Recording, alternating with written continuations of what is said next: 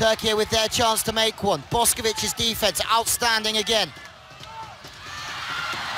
Erligay has been everywhere. Second ball attack has been bumped over. The ball is still alive here. And is there a touch off the block? No is the answer.